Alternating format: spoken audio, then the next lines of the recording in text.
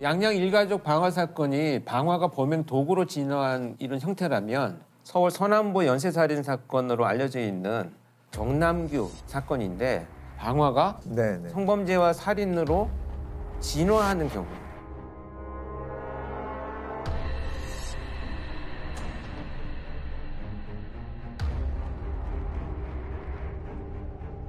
최근 서울 남서부 지역에서 여성들이 잇따라 피습되면서 주민들이 공포에 떨고 있습니다. 지난 9일에는 보라매 공원에서 20대 여대생이 흉기에 찔려 숨졌습니다.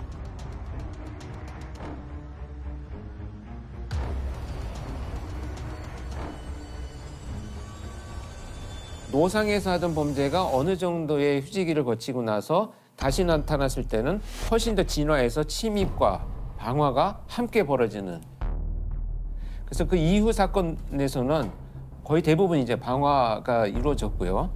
서울 봉천동 주택에서 불이 났습니다. 범인은 둔기를 휘두른 뒤 불을 지른 것으로 추정하고 있습니다. 남매 3명이 주택 화재로 숨졌습니다. 경찰은 방화 가능성에 무게를 두고 범인은 자매의 머리 부분만 집중적으로 폭행한 뒤 불을 지르고 달아났습니다. 사실 저희가 다 투입되었던 유영철, 정남규, 강호순을 보면 방화 범죄가 다 있어요.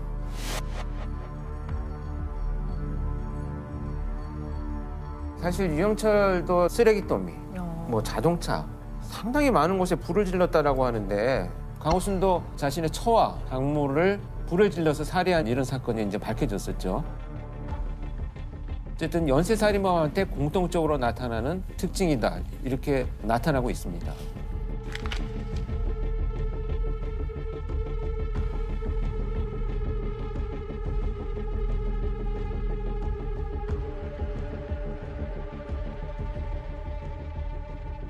프로파일링의 대상 범죄가 뭐냐면 살인, 살인. 성범죄 그리고 방화예요. 아, 방화가 들어. 방화가 그러니까 세 개의 사건은 하나의 카테고리 안에 들어있다고 보시면 돼요. 대표적인 특징은 뭐냐 하면 자극이 사소하게 시작을 해서 멈추어 있지 않다는 거예요. 계속 발전하고 더 큰 자극을 원하기 때문에 그 정도 선에서 절대 머무르지 않아요.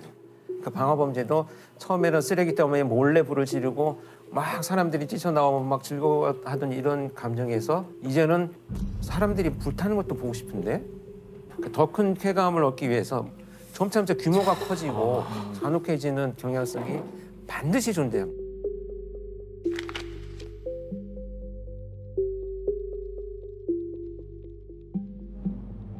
마약 중독과 같아요. 이건 중독 범죄랑 비슷하거든요. 작게 시작한 약물이 점차점차 내성이 생기면서 약물이 양이 늘어나고 횟수가 늘어나는 것처럼 똑같아요. 이 세 가지 범죄는.